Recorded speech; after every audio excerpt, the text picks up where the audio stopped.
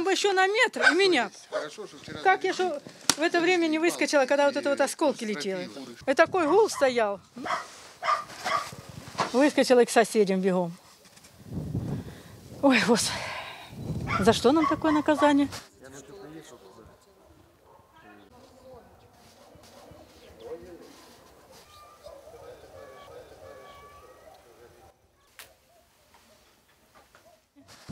Ну, попали сюди, хвостовик там жену оглушило, забрали в больницу.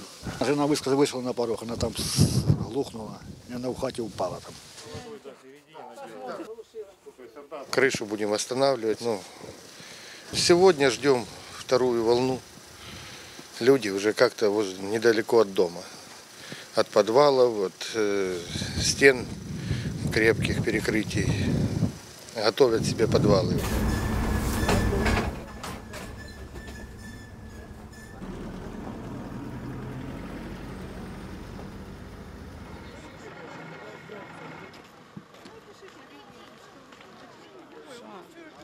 И Кто желает выехать с линии огня с Авдеевки, пожалуйста, в течение часа будет проводиться запись на эвакуацию в первой палатке. Проходите и записывайтесь.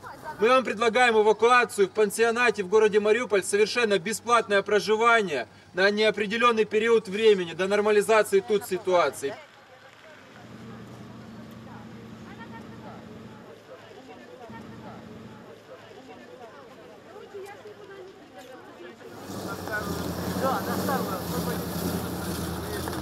Это очень, очень и очень печально. А с другой стороны, они уедут, это будет хорошо, правильно? Им там будет хорошо. А вам здесь спокойно? А мне спокойно, да. Что будет со мной, это одно. А дети, я буду знать, что они в тепле, у них все хорошо и все замечательно.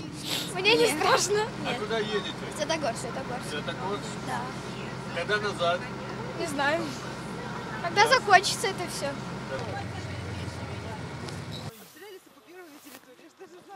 Куда сейчас везут вот тех, которые... Святогорск это и горы, да? Лагерь.